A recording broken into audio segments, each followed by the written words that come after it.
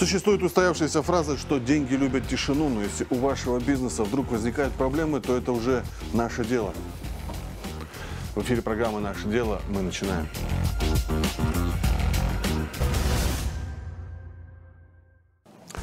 В последнее время возникает достаточно много шума вокруг вопроса идентификации животных в нашей стране. Некоторые специалисты утверждают, что страну ожидает хаос. Мы решили разобраться в данном вопросе. Неужели все действительно так плохо и страшно? Кто больше всех шумит и по делу ли возмущения, расскажем прямо сейчас. Вопрос возник в основном по ушным биркам, которые используют для идентификации молодняка крупного рогатого скота, мелкого рогатого скота, верблюдов и свиней. Ежегодно Министерство сельского хозяйства приобретает около 14 миллионов подобных бирок на сумму более 1 миллиарда тенге. Ушные бирки несут всю информацию о животном на протяжении всей его жизни. Уникальный номер животного наносится на бирку, которая не должна сниматься или перемещаться от животного к животному. Это как паспорт для человека. Бирка – очень важная вещь для идентификации животных, и это факт, который никто оспаривать не собирается. Нам лишь стало интересно, почему замена международного стандарта на казахстанский вызывает так много споров и действительно ли многие переживают за качество продукции или дело все же в коммерческом интересе определенных лиц. Дело в том, что в этом году Минсельхоз принимает решение изменить правила, а если сказать точнее, уравнять потенциальных поставщиков выше указанной продукции. Ранее страна закупала ушные бирки, произведенные исключительно по международному стандарту ICAR, Международного комитета по ведению записей о животных, центральный офис которого базируется в Риме. Вот и шумят теперь некоторые предприниматели, в основном представители Мясного союза Казахстана. По сути, шумят в данный момент представители одной компании. Называется она Z-Town Development. Базируется она в столице страны и занимается производством ушных бирок. Шумят предприниматели не просто так. После введения новых правил конкуренция обострится и, возможно, сократятся доходы. А конкурировать, видимо, совсем не хочется. Монополистам быть гораздо выгоднее. Впрочем, обо всем по порядку. На сегодняшний день то Z-Town Development – единственный представитель от Казахстана Вайкар. Ассоциированным членом компания стала в 2014 году, а уже в 2015 совершенно случайно меняется законодательство Казахстана, в котором прописывается, что поставляться в страну могут бирки исключительно от компании, которая входит в Вайкар. В то время министром сельского хозяйства был Асылжан Мамыдбеков. В данный момент он председатель правления Мясного союза Казахстана, чьи представители больше всего недовольны новшествами Минсельхоза. Никаких параллелей здесь мы не ищем. Любые совпадения, конечно же, совершенно случайны. С 2015 года компания единолично выигрывает конкурсы на поставку ушных бирок. И все за счет той самой поправки, согласно которой поставщик должен быть причастен к Айкару. Цены варьируются с каждым годом. 105, 95, 70 и даже 65 тенге, видимо, в зависимости от количества бирок. Но суммы все равно приличные, да и условия шикарные. Конкурентов нет, прибыль обеспечена. Впрочем, как говорят сами фермеры, качество поставляемых в Казахстан бирок не всегда выдерживает критики. Кто-то говорит о браке 30% товара, кто-то о 50%. А ведь это вопрос крайне серьезный, так как срыв идентификации молодняка может привести к созданию риска возникновения неконтролируемой эпизоотической ситуации в стране. В этом году конкурс на поставку ушных бирок вновь выиграла компания ZTAO Development. Первую поставку товара должны были осуществить еще в апреле, однако товара до сих пор нет. Вместо этого компания предпочла обратиться в суд, не согласившись с результатами конкурса. Видимо, 653 миллиона тенге не та сумма, на которую рассчитывал столичный производитель. Но страдает при этом фермер и АПК страны. Так о чем больше беспокоятся представители поставщика? О прибыли или проблемах Казахстана? К слову, в текущем году за бирки для МРС и свиней компания предложила всего 35 тенге. Бирки для КРС и верблюдов обошлись 54 тенге 73 тин. Получается, что конкуренция позволила сэкономить более 400 миллионов тенге. А теперь вопрос, почему раньше экономить не старались и не в этом ли причина всего шума? Стоит отметить, что сертификат ICAR дается на 5 лет, и для его получения в Италию отправляется 200 экземпляров продукции. Как в последующем проверяется качество товара – большой вопрос. И проверяется ли он вообще? Согласитесь, любой производитель может очень постараться и сделать 200 ушных бирок, которые соответствуют любым самым высоким критериям, а в последующем 14 миллионов бирок делать уже качеством пониже. Но это лишь предположение. Мы-то знаем, что казахстанские бирки самые лучшие бирки в мире. В распоряжении редакции программы «Наше дело» оказалось интересное видео, на котором, скорее всего, китаец демонстрирует продукцию, на которой видна наклейка компании Z-Town Development. При этом китаец демонстрирует достаточно большой ассортимент и, скорее всего, приглашает к сотрудничеству. Возникает несколько вопросов. Где в итоге производится продукция ТО Z-Town Development, что образцы казахстанской компании делают у китайских производителей? Есть подозрение, что китайцы рассматривают казахстанский продукт как эталон, к которому стоит стремиться. Других вариантов у нас просто нет. Не может же казахстанский шприц или ушная бирка производиться не в Казахстане. Это просто немыслимо. В общем, вопросов достаточно много, и один из них самый главный. Если компания много лет работает и производит действительно качественную продукцию, то зачем ей переживать о стандартах, которым она соответствует уже много лет? Против могут быть лишь те, кто лишается сверхприбыли и совсем не заинтересован в том, чтобы государство экономило сотни миллионов тенге. Но таких бессовестных людей в Казахстане нет. У нас все делается в интересах государства. Наверное, сегодня уже можно сказать, что мир привык к ковиду, привык находить выходы из различных ситуаций, будь то вакцинация или удаленный заработок. Но есть те, кого ограничительные меры бьют не только по кошельку, но и по желанию работать. О том, почему общепиту достается больше всего проблем и о том, на какие жертвы готов сегодня пойти бизнес сферы обслуживания, расскажем в следующем материале. В Казахстане порядка 10% заведений общественного питания уже закрылись. На подходе еще 20. Причем со статьей «Банкрот» и долгами от 8 миллионов тенге и выше. Такие цифры нам привела советник председателя Ассоциации общественного питания нашей страны.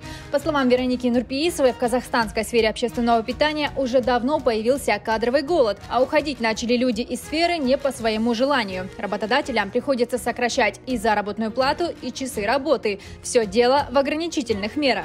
3 июля было постановление главного государственного санитарного врача господина Кияса, в котором четко был прописан алгоритм по программе АШИК, а также время работы. Но на самом деле на, на сегодняшний день а, главные санитарные врачи городов и областей постоянно ухудшают ситуацию по программе АШИК.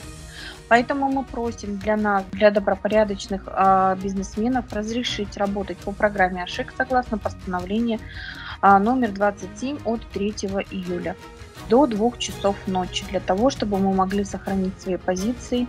Почему только для лидеров мы просим? Потому что остальные будут тянуться к лидерам и соблюдать чистое окружение, прививать свой персонал и работать, стараться в программе АШИК, чтобы чекинили э, своих гостей.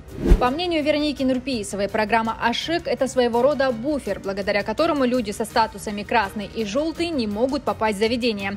Проблемы в этой области появились именно после того, как к программе подключили базары и торгово-развлекательные центры, и бизнес общепита просит взять это во внимание. Еще один момент. Как мы знаем, теперь рестораны и кафе работают с 7 часов утра и до полудня. Мы тоже этого понять не можем.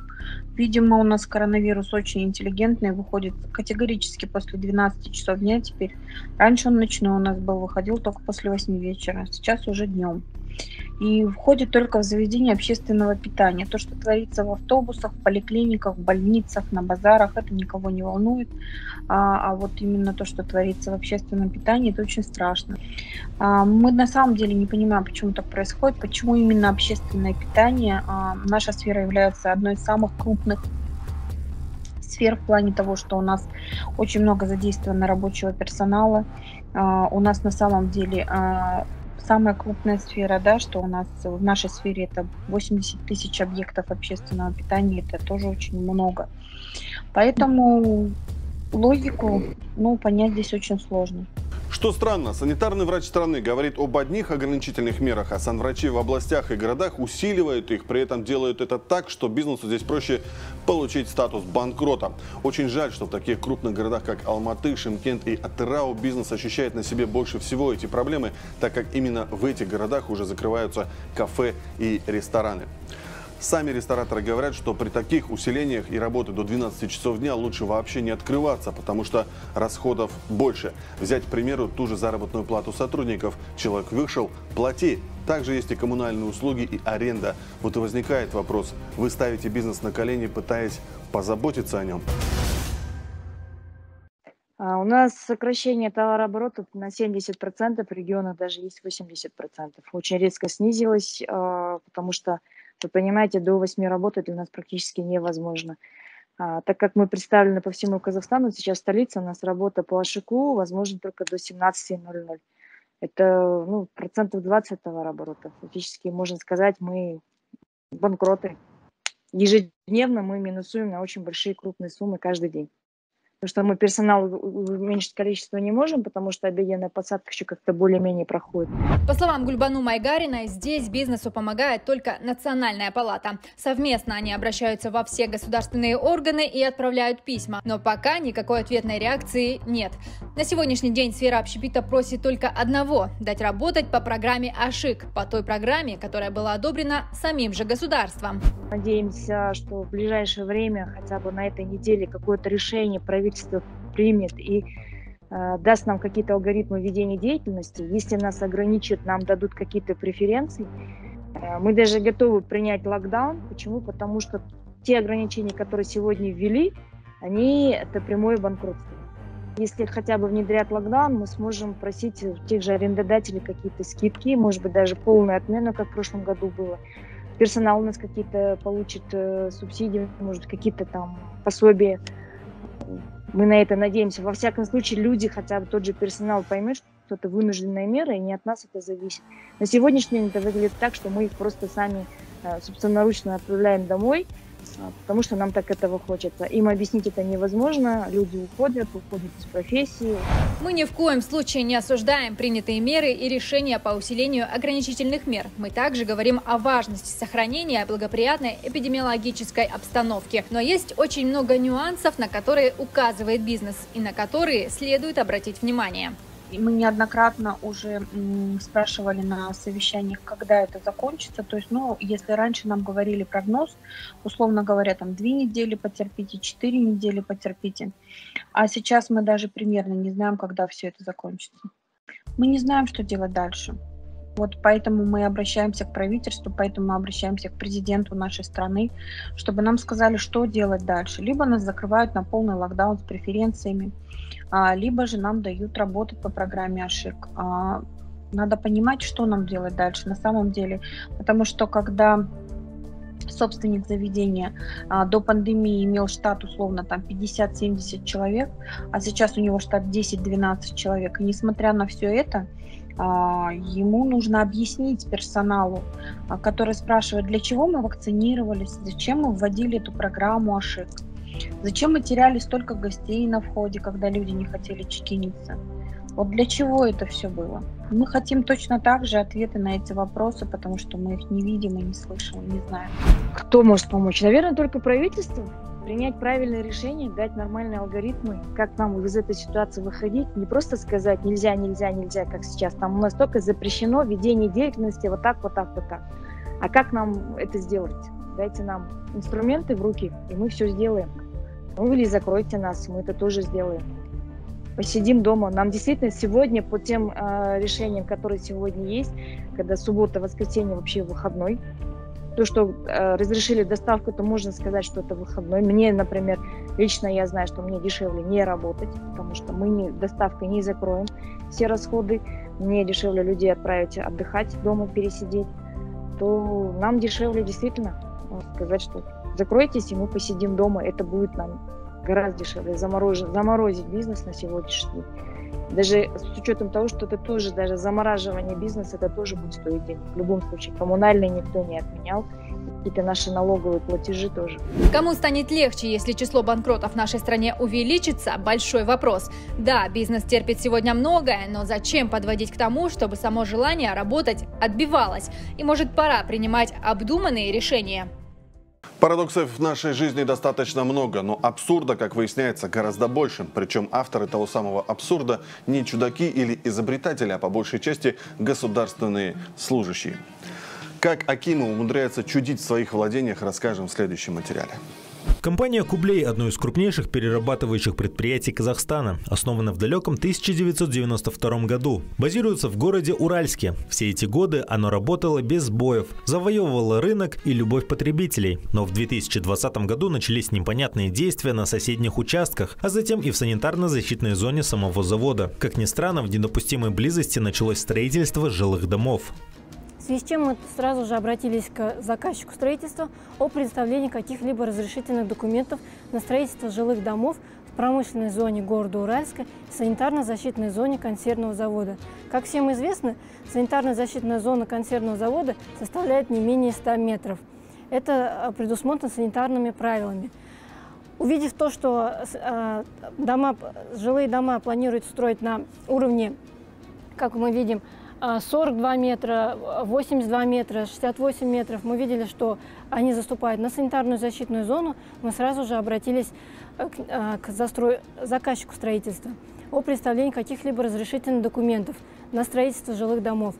Но не получив внятного ответа, мы тут же обратились в Акимат города Уральска, в прокуратуру города Уральска, а, в Управление государственного архитектурного э, строительного контроля Западно-Казахстанской области – о проведении проверки на законность строительства жилых домов на производственной зоне, санитарно-защитной зоне консервного завода. На что нам поступил ответ о том, что сейчас введен мораторий указом президента и проведение проверки в отношении малого и среднего бизнеса запрещено. Чиновники у нас умеют повернуть дела так, как им необходимо. В нужный момент даже свои не совсем логичные действия или бездействия оправдывают за счет указа президента. Якобы бизнес проверять нельзя. Но почему политика тогда уж слишком избирательная?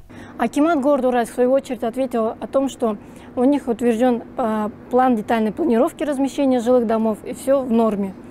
Мы, конечно же, понимая, что здесь идет нарушение законодательства РК, обратились за защитой своих прав а, в суд в июле 2020 года.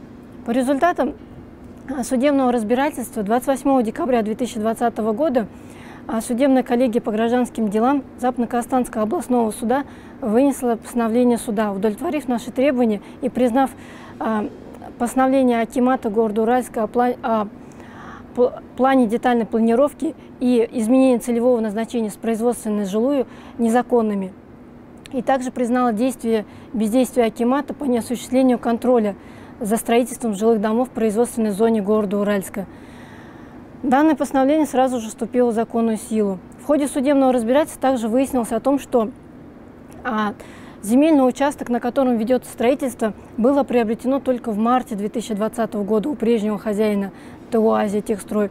Также было выяснено о том, что в июне 2020 года ГАСК проводил проверку, где а, выдал предписание ИП Ирменуэ о том, что необходимо приостановить строительство жилых домов, поскольку строительство велось без каких-либо разрешительных документов. И необходимо было устранить данные нарушения и прекратить строительство. Однако строительство продолжалось, со стороны государственных органов не проводилась проверка по исполнению данного предписания.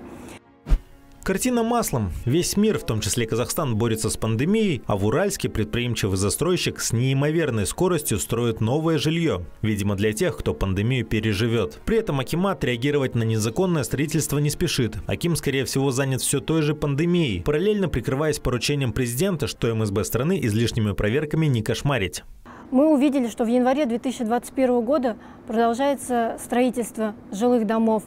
Мы сразу же обратились в ГАСК. В январе, феврале, в марте 2021 года мы обращались в ГАСК и просили приостановить строительство на производственной зоне, так как имеется уже вступившее в закон э, решение суда. Однако ГАСК не, не принимал каких-либо действий и отказывал нам в проведении проверки, в связи с чем мы обратились в комитет по строительству, э, по делам строительства МИР РК где а, установили, что действительно а, строительство ведется на производственной зоне, необходимо остановить строительство. Выявлен ряд нарушений. Также было выявлено, что разрешение на строительство было выдано только в январе, 26 января 2021 года и 3 февраля 2021 года были выданы, выданы разрешения на строительство третьего и четвертого дома. А разрешение на строительство первого и второго дома были выданы только в сентябре и в ноябре 2020 года, то есть после фактического возведения жилых домов, о чем и об этом также сказано в решении суда. Джекпот по-казахстански – строить там, где нельзя, и получить разрешение на строительство только после того, как какой-то объект уже построен. Всем ли так можно? Слава Всевышнему, нет. Но у кого-то прав больше, чем у обычных граждан. И, видимо, в Уральске это как закон джунглей. Сказали строить можно даже без документов. Аббат Шинебеков, что же у вас в городе все как-то уж слишком топорно и в разрез законодательству страны? Несмотря на вступившее в законную силу решение суда, Акимат города Уральска 9 июля 2021 года утверждает вновь план детальной планировки размещения данных жилых домов в производственной зоне, санитарно-защитной зоне консервного завода.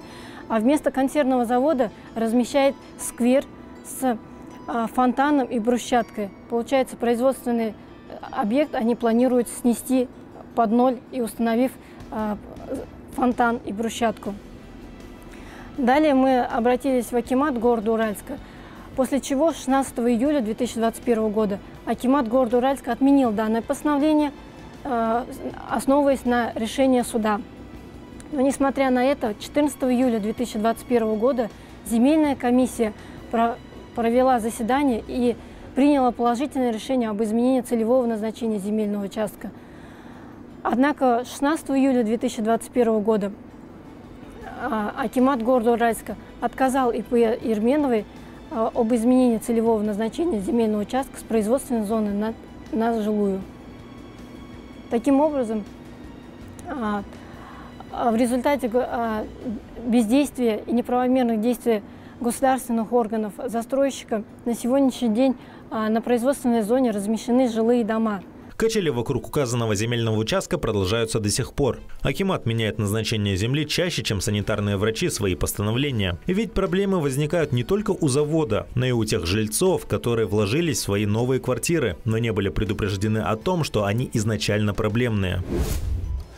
Масштаб фантастического маразма со стороны городского Акимата зашкаливает, а значит я могу позволить себе нечто экстраординарное. Аким города Уральска, Аббат Шинебеков, я вызываю вас на дебаты именно по данному вопросу. Давайте обсудим и решим, кто же все-таки виноват в том, что работающее не один год предприятие вынуждено отбиваться от нападок уполномоченных органов, а люди, вложившие собственные средства в квартире, оказываются втянуты в судебные разбирательства. Сдюжите, буду рад. Нет, так и запишем, хотя дебаты предлагаю провести исключительно в прямом эфире. Абат Абаевич, слабо? Существует устоявшаяся фраза, что деньги любят тишину, но если у вашего бизнеса вдруг возникают проблемы, то это уже наше дело. Обращайтесь.